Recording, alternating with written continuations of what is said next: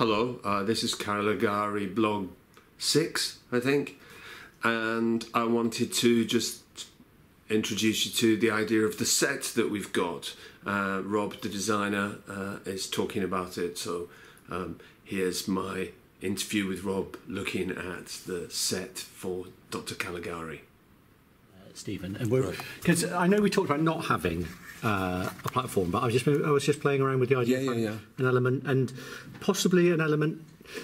Charlie and I, you know, we talked about um, uh, having light elements Yes. which could interact, and we, so we were kind of like talking to Sean about it. We were thinking of something that could be flown in and out and could potentially be kind of like you know have a bit of action on it, so Mm-hmm. that you get kind of like you know like all over the set. Shall I show Yeah, you yeah, that light effect we were looking at yesterday, Rob? Oh yeah, yeah. Can you If you, turn light very quickly? oh, hang on. Charlie's got an interactive media presentation. Right. So you see how be it, kind of yeah, you can kind of pre- it kind of makes kind of nice effects on. Get your lights and then if you get, I know, I know, but and then if you get right in, it can kind of take up the Oh, whole. that's, uh, that's nice. So we're that's talking nice. about building. So that's See, the like that the. So there's a light source inside that, and it's all chains and mesh and, and you weird can stuff. you can Great. and then yeah so if it's right inside and it's spinning around it will look really great like that Yeah. So we're thinking of.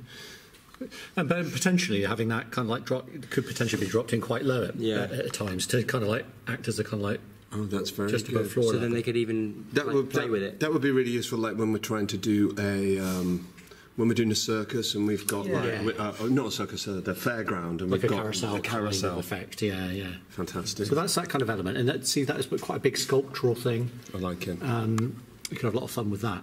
And then the other elements I've been playing with are these kind of like side elements. And I, again, I'm thinking they could, you know, from the, uh, we can make them so that they're hard, so that they take, you know, like solid projection, but they could also be framed nicely from behind to echo that kind of cabinet feel. So I was wondering because you know we talked about having a yeah, physical permanent thing. I think that's really good. Yeah. and and that.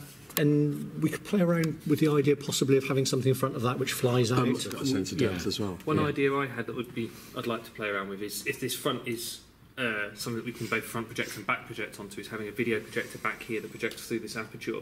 So you see video and then and the silhouette of him, and then when we reveal it, the video projection What, also onto becomes yeah through Oh the yeah, right, okay. And then when you reveal it, the video projection also becomes a, a blinding type of thing. And then with the floor, because you know we talked about pushing the floor back a tiny bit, Yeah. most out of it. I was thinking of having something. And these are my Diamante kind of footlights. Footlights, yeah. Yeah, uh, but thinking about having so this is your kind of like projection space, but then it'd be quite nice to have it, you know, a, bit- a bit asymmetric perhaps, and having Yes. a, an element, you know, which A little echo. yeah, whether they use it or not, you know, Yeah. like kind No, of. well, we are. I'm already got us. We're doing a lot of movement, which is all in a line, all moving forward. It'd be quite useful if if that could. If Well, we could could just flip it. extend a little bit more there. Yeah, yeah, well, we just could- ju- not not all of it, but just that bit there. Yeah. I don't know how. Can you make a note of that? Yeah. Uh, Well, well, we could all, we could the floor? almost like kind of flip it, you know, flip that kind of idea so that shape is just flipped. Do you know what I mean? So that you actually had this element like kind of there. Okay. Do you know what I mean? And do you see what Oh, I I'm mean? with you. Yeah. Or I could flip what I'm doing, but Yeah. I, I you know, because it looks to me it it, it seems right like that. Yes, yes. I don't. A- asymmetric's nice, I think, for this, isn't it? Rather Yeah. than just a.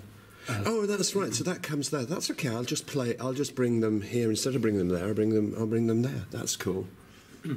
So that's kind of where we are at the moment. It's So- fantastic. So, seeing these elements as like kind of being front lit, but also more interesting, you know, kind of like you can back. backlight like that. Yeah. You can Yeah. project onto them. So Yeah. I've got great, and that gives us like we were talking earlier, if we can, of. You were saying how in QLab is it? You can separate can out. it- those you up. So yeah, yeah, I can treat all of these as individual surfaces. That's really neat. So you can say I want that image on that one, and that image on that one, and that image down. I love it. Just as an idea that's just come up, Rob, that potentially could become a light boxy type element.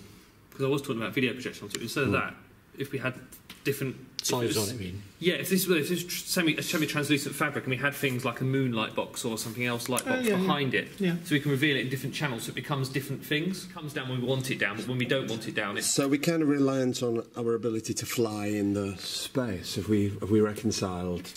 I don't know. I'll check with I'll check with Jackie. We've got a meeting on Tuesday. I mean, there's two. Mm. Yeah. That's cool. That is brilliant. Hi. Oh, brilliant. Thank you very much. Thank you very much. Geniuses. Geniuses.